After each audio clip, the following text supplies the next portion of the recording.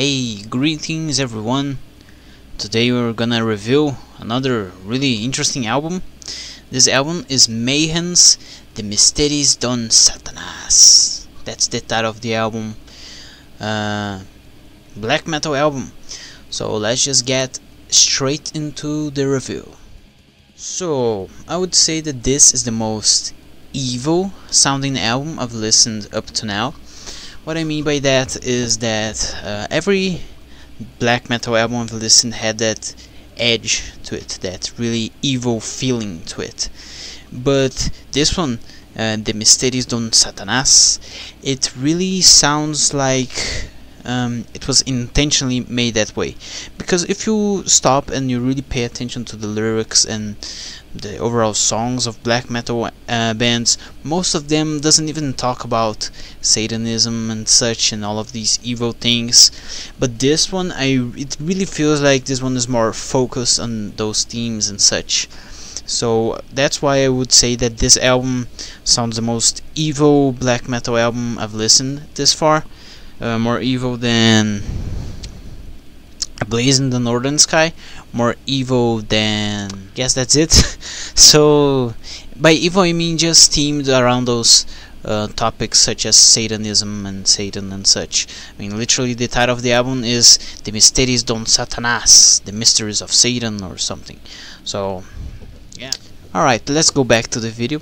Something else that's really interesting is the fact that Euronymous, a very famous uh, figure in Norwegian black metal, plays the guitars in this album, and someone else that's very popular, unpopular, you, we could say uh, Burzum Dude is playing the bass in this album. So as far as, far as I am aware, all the guitars in this album I played are played by Euronymous and all the bass is played by Burzum Dude. So I believe it was actually before they released the albums that when the murder happened, then Burzum guy went to prison. But uh, I know that uh, the family, Euronymous family, wanted the guy the guy I think there was only one other guy left in the band after that happened. And I believe the family asked him to uh, well re-record all the guitars and all the bass to remove uh, playing and Burzum's dude playing from this album. But well he told the family that he did it but they actually didn't. So I find that really interesting you know. I prefer the album this way because then we have this registered um, piece of history. You know, uh, the victim, the victim, and the culprit playing together in the same album.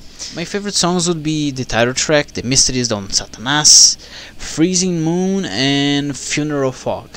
Those songs are the ones I enjoy the most. So the very first few songs, the closing track, those are the songs I enjoyed the most. And then this album overall has really long songs. The shortest one is almost four minutes, and the longest the longest one is literally seven minutes. So I prefer. I don't like songs that are shorter than three, four minutes.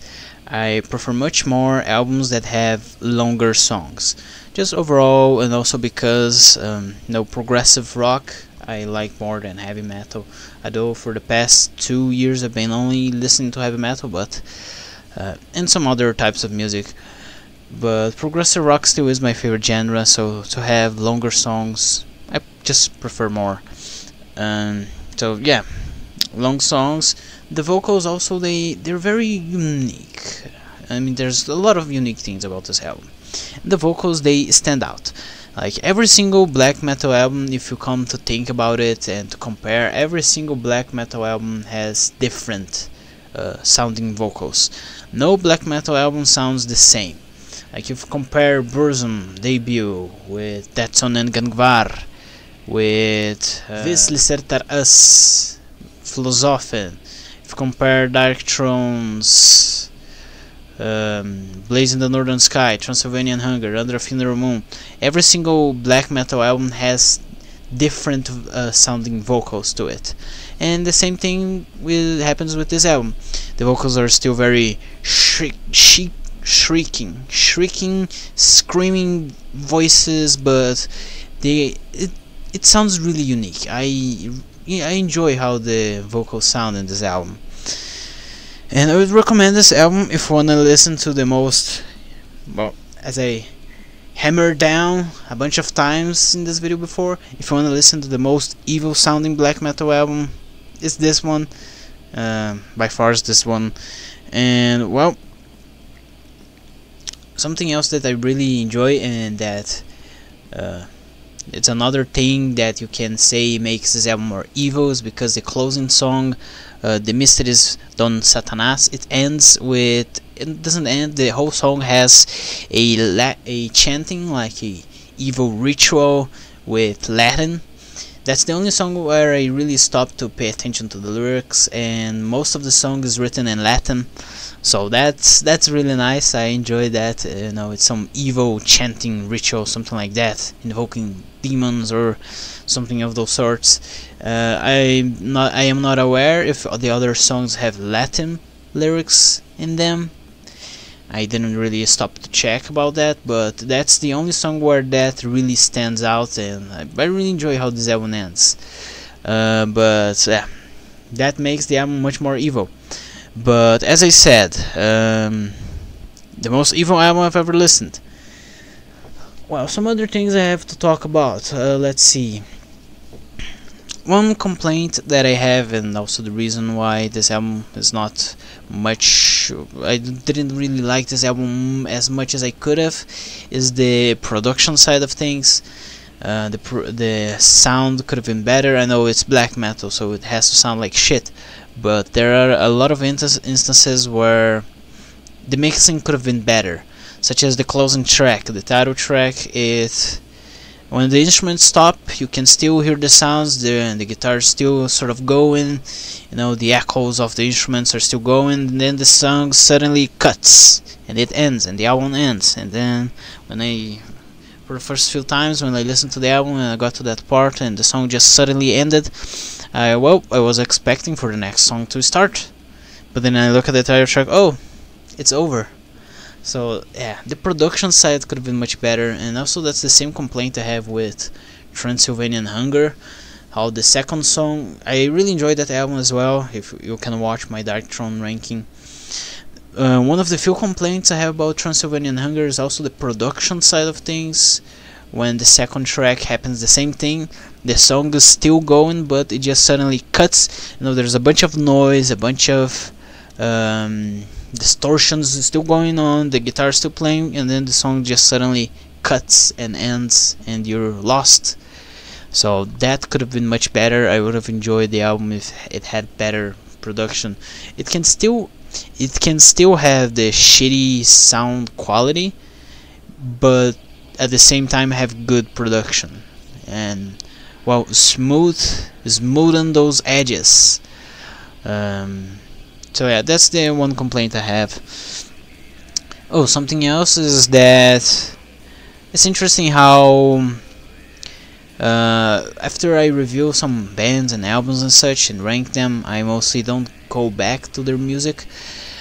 Making all of these videos reviewing music, uh, I don't know, something changed that I can't really stop and listen to the same songs for that long.